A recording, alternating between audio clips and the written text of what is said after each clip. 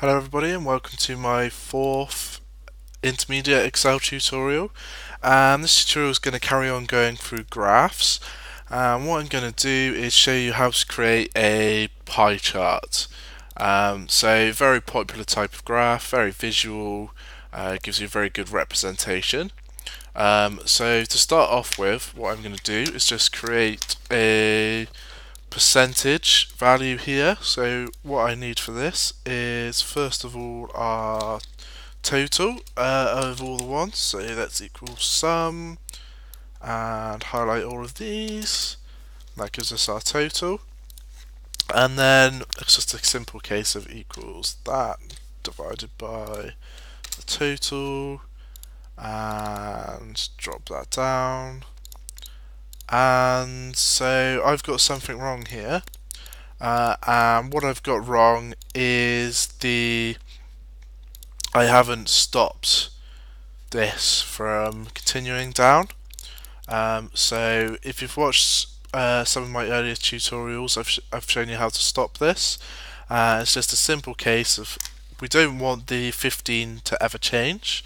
So let's just put a percent sign before it and now as we drop this down, you'll see that we get the percentages fall through. Um, if they come through as numbers, it's because your cells are formatted to general. So as when you first write the formula, it's probably going to come up like this. Um, you just format cells, go to percentage, and put it as whatever you want. Then we can use this now in order to create our pie chart. So again, click on charts, select your data first, and click on pie. And you've got a choice of a few different ones. They all do exactly the same thing. They're just um, they all look slightly different. So I'm just going to do your standard pie. That's viewed example, and that's looking good. So next.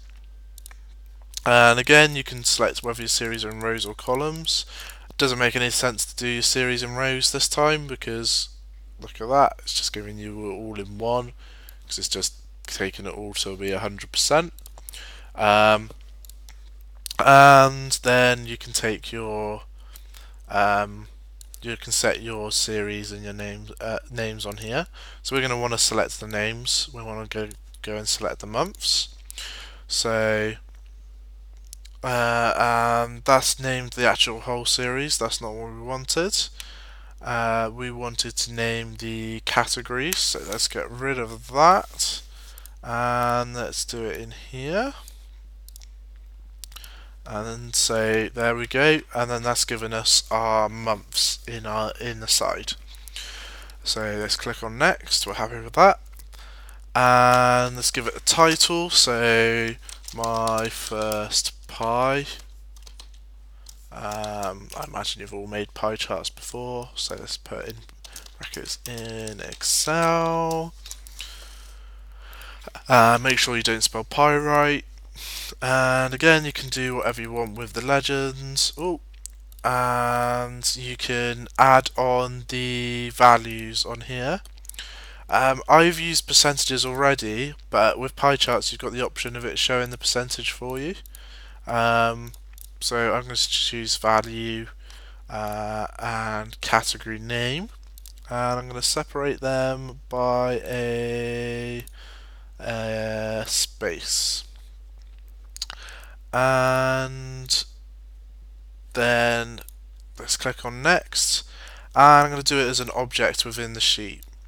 So when you've got it as an object within the sheet all it's going to do is just give you essentially a picture, um, slightly more dynamic than a picture, but a picture nevertheless, uh, or an object that you can just move around, you can resize it, um, whatever you want. So that's quite useful because then you can have it exactly in line with your data uh, rather than on a completely separate page.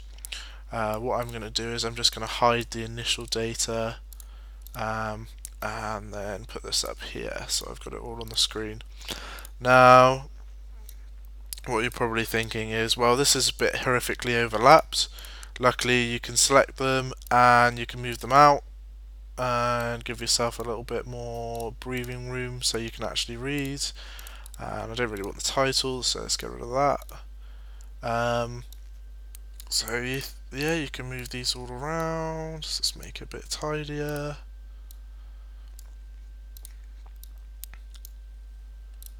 There we go. So now you can read them all. So that's a much a lot better. Uh, you can change the individual points colours, um, and yeah, so that's how you create a pie chart. Um, one thing I do want to show you um, before I go into any other types of graphs is just uh, the default colours in Excel. Um, I don't know about you guys, but I, I'm, I'm not a fan. So what you can do is go to Tools and Options and Colour, uh, and you can actually um, you can go into your chart fills that are here. You'll notice that they match the ones down here, and you can actually edit these. Uh, and you can set them to be any color that you want. So let's say you want them to just be a range of reds. Let's go. That one's of red. Uh, that one's a red, and that's the same red. So let's not use that. Let's just do different shades. And let's have another red, nice and dark, and another red, a bit lighter, and another one. Let's make it a bit orangey, and that'll do. And you get the idea. It just means that all of your default colors on your graph, when whenever you create a new one, are going to be exactly what you want, rather than the default Excel ones that are a little bit gross.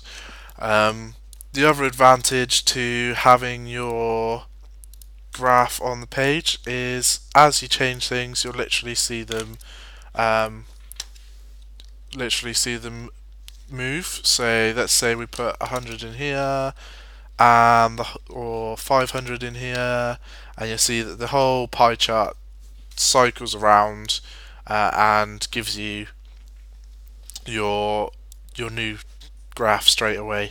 So this is really useful. Um, so that's it for pie charts. Hopefully you've managed to create one yourself. Um, thanks for listening and I hope to catch you in the next tutorial.